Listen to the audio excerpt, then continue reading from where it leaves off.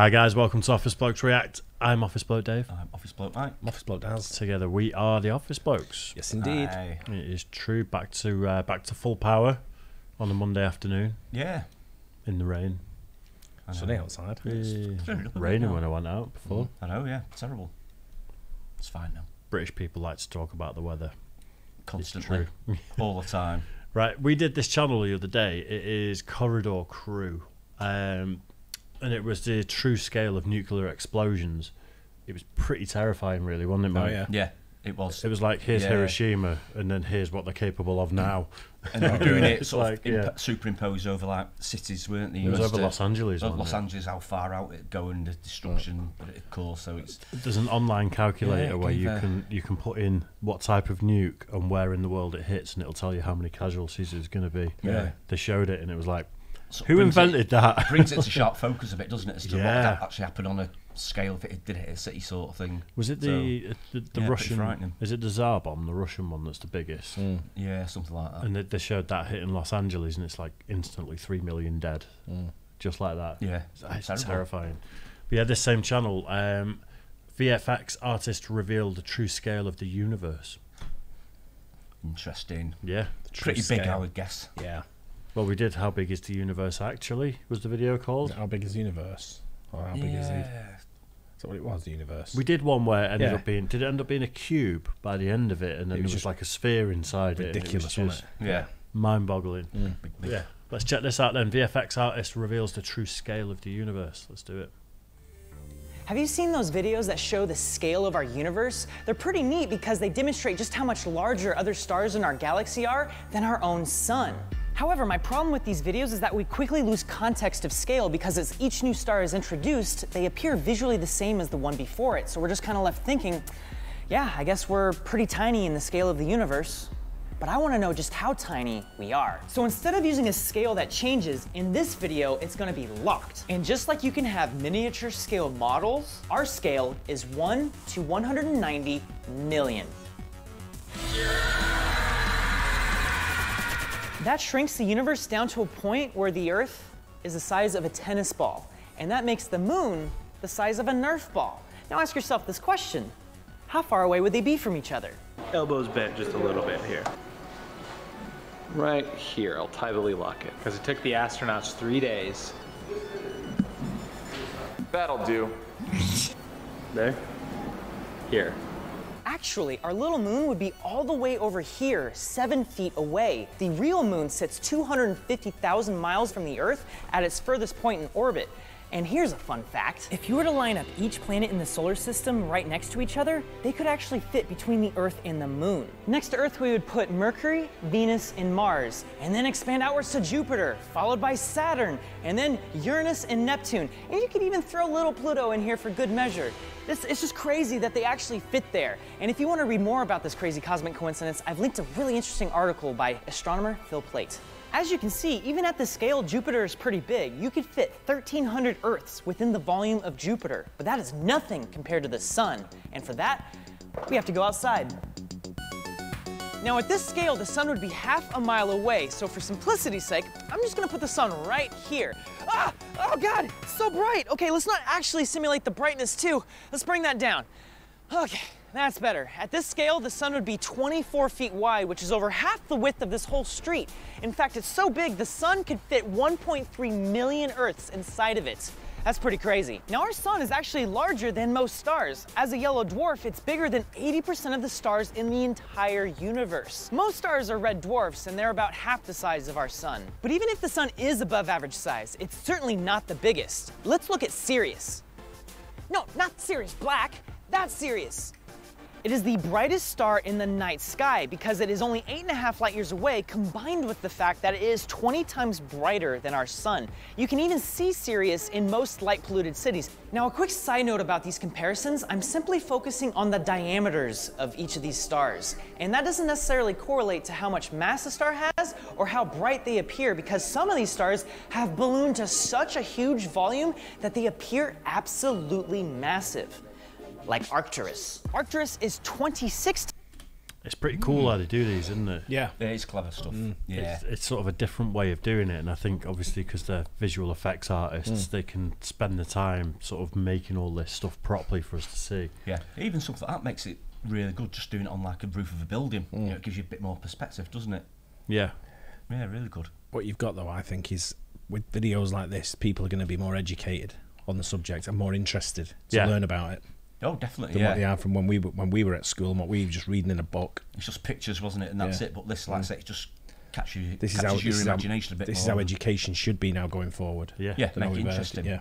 Well, mm. that's No like doubt. if you were lucky enough to get a teacher that's just so switched on and young enough that he mm. kind of like is passionate about it, really intelligent, and teaches in a way mm. that gets people engaged. If you go places like Jodrell Bank round here um, and do the Yeah. planetarium there, it's really interesting. Is it? Yeah, it's, it's great stuff to, to go and see Yeah. and sort of like, especially for kids. Yeah. don't know, your kids are probably at the age as well um, where they get real, it, have real good fun there. Yeah, yeah. Oh, that'd be great. There, Yeah. yeah, I'll take them at some point. Yeah. It's a good idea, actually. times larger than our sun, yet it isn't even twice as heavy. At our tennis ball scale, it is 610 feet wide, which is about the length of two football fields. What is interesting about Arcturus is that it is flying in a different direction from all the other stars in our galaxy, and therefore it is hypothesized that it was actually formed in another galaxy that at some point in the last several billion years was eaten up by our own Milky Way. Zooming out, we get Rigel, which would be so large it'd be taller than New York City's Freedom Tower at 1,872 feet tall. That's pretty big. But even though it's so large, it's actually a tiny little baby star. And I actually mean that literally. It's only 8 million years old compared to our sun, which is 4.5 billion years old. That is the difference between a 100 year old person and a two month old baby. Except this baby is destined to explode in a supernova. Not all stars go supernova though. Our own sun, for instance, is going to continue expanding until it's over a mile wide at our scale. Over the course of the next 5 billion years, it will turn into a red giant, 256 times bigger than it is right now. Hey, hey, no need to worry though, because only in about 1 billion years are we going to lose all of our oceans thanks to the fact that they're going to boil away. But here's a star that even puts that to shame. Wait, so that's global warming. The sun's getting bigger. And hot. That's Yeah, not what they're telling us. thought right? Might even be sunny in Manchester one day. Hey? If you stick around for a few billion years. I think years. it might be a bit too sunny by the sound of it, but hmm, a billion years. It's weird that there is a finite timescale on I know, the planet, I know. isn't it? Hmm. yeah. But I mean, it's not in our lifetime necessarily. No, it's interesting. That space is just weird, isn't it? It's, hmm. Beetlejuice! Beetlejuice! Beetlejuice!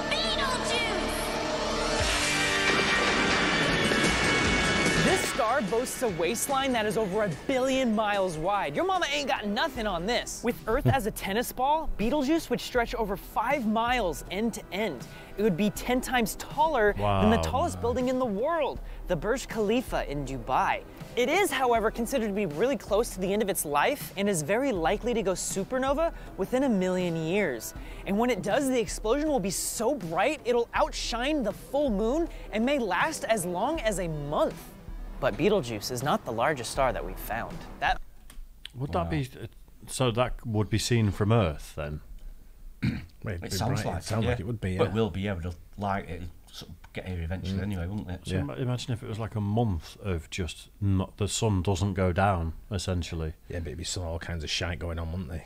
it'd be everything would be fucked. Yeah. So it'd be chaos, wouldn't Do you it? know the worst part about the um the, the, the planets lining up and all that is all these nutcase um uh astrology. astrology. people. Yeah, they're not, not astrology because that's probably the, is it is it called astrology? Astronomy is the one that's a science. Yeah, astrology, astrology is, is the, the one that's like Star signs and stuff. you're a Gemini, I'm a yeah. Capricorn. and if Mars is here and Earth's here, you're gonna get lucky Yeah. or you're not gonna get Yeah, If you were lucky. born on this day, this is what your Yeah, personality's like, yeah. and Mystic Megs of the world, Yeah. you mean? Mm. that's the one.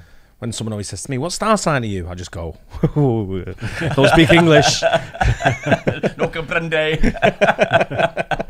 So what are, what are the two that don't ever mix? And if they say it's like Sagittarius and whatever, and then you ask them what they are, and then you just be the opposite and go, "I'm out." yeah. Based off your metrics, I'm not allowed to be near you. Mm. I wouldn't know what what they mean anyway. I I, have don't. no No, idea. don't matter when you're born. I don't think. I mean, No. there's different personalities for every day, every mm. day of the year, and, Yeah. and Oh, absolutely, yeah, you know, yeah, without a doubt. Yeah. honor lies with UY Scuti. what kind of a name is UY Scuti? Astronomers think this might even be the largest star in our galaxy, and it's certainly the largest one we've ever found. Whoa. If it were to replace our sun, the surface would reach the orbit of Saturn. It would dwarf Manhattan at a staggering eight miles wide.